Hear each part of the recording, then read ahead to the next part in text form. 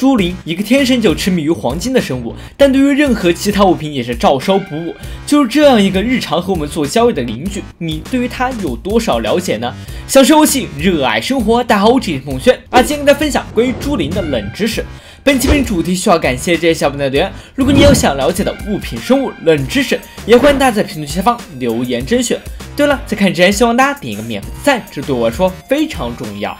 这是朱灵的模型，有多少人在第一次看它的时候，把下面两个圆圆的地方当成了眼睛，上面其他元素看成了朱灵的帽子，把它直接当成了一个小萌妹的样子？结果是我们想错了，那只是它的鼻孔而已，以至于我无法再正视它的真实样貌。也正是因为朱莉娜特殊的模型，官方为她的头盔定制了特殊的纹理款式，用来适配朱莉娜宽大的头型，属于是 MC 生物最高的待遇了。在肩板中有一个特性，就是耻辱的朱灵是一个独特的变种。这并意味着他们就算没有弩，也可以射出箭，像是法术攻击一样凭空召唤。所以转变到天生手持金剑的朱灵这里，如果给他安排了弩之后，就直接丧失了攻击方式。而转到加奥版本的朱灵就看起来聪明多了，他们不仅可以主动捡起盾牌，甚至带有弗莱标签的朱灵还可以捡起鞘翅，直接在空中飞行翱翔。游戏中关于朱灵还有许多实用的特性。当他们站在同一个方块上时，你只需要用一个星令就可以和全部朱灵做交易，而且只要在此过程中。反复推动金块，即可做到疯狂打断朱林交易的后仰。你的频率越快，它的交易速度也会越快。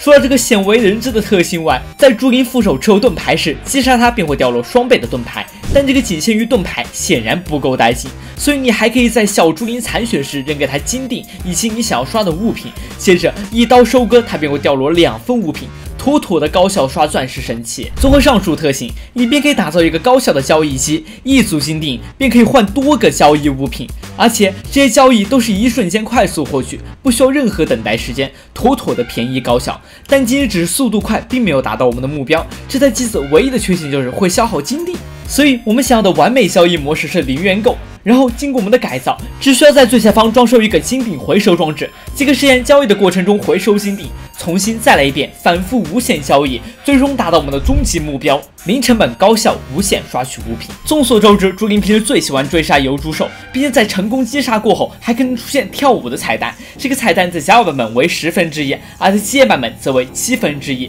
虽然平时总是朱灵追着油猪兽满大街的跑，但这群家伙也是一群欺软怕硬的玩意儿。一旦油猪兽的数量变多，就会出现反客为主的情况。一群油猪兽追着一只猪灵跑，就这样一对相爱相杀的好兄弟。朱灵在小时候却会主动骑乘油猪兽，而且同一只油猪兽上方最多可以承载三只小猪灵。僵尸朱灵也就是朱灵的变种，只要它在主世界待满三百游戏课后，就会自动转换。有一个隐藏的小彩蛋，就是变成僵尸朱灵的过程中，如果我们切换到它的第一人称视角，就会发现朱灵在变种过后会有一个长达十秒的范围效果。而且僵尸朱灵最早的来源其实是下界塔的僵尸猪人，不知道有多少玩家还记得这个历史遗迹。而最离谱的就是这个来自于地狱的家伙，居然在刚推出来的时候，不仅怕太阳，还惧怕火焰。虽然他们从来不主动攻击村民，但是如果他们击杀村民，也会将其感染成僵尸村民，属于是生物界的跨界办公了。众所周知，朱灵对一切带有宝箱金子的物品都十分敏感，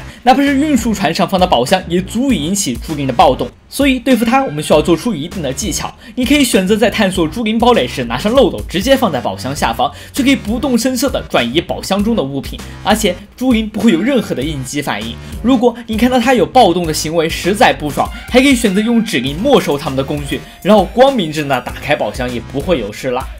好了，那么关于朱灵的冷知识已经交给你们了，这个免费赞当学费不过分吧？讲完了，那咱们就下期见吧，拜。